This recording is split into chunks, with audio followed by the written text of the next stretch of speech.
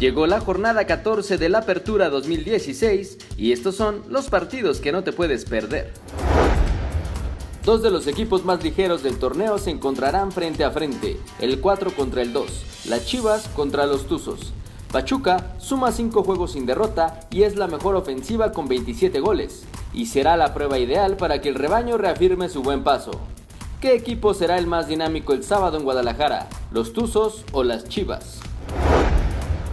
A los gallos les han picado la cresta e irán por la cabeza de otro grande, tras eliminar a Cruz Azul en la Copa. El Querétaro tiene cuatro victorias consecutivas sobre el América y tendrá que sumar una quinta si es que quiere continuar con vida en el torneo. Sin embargo, las Águilas se mantienen como cinco de la general y podrían volar hasta el segundo si es que comen gallo en el Estadio Corregidora. ¿Saldrán vivos los americanistas del palenque? Tomás Boy tiene un pie en el precipicio y podría caer de perder ante la franja. El partido será clave para ambas escuadras. Cruz Azul y Puebla son 12 y 13 de la tabla respectivamente y están empatados en puntos. La derrota para cualquiera podría dejarlos muy lejos de zona de liguilla.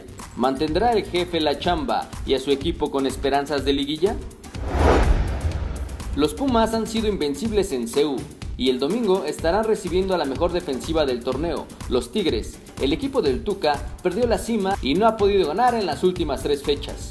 Sin embargo, tendrá que afilar las garras más que su rival para seguir peleando por el liderato. ¿Podrán los de Nuevo León quitarle el invicto a los de la UNAM en su territorio?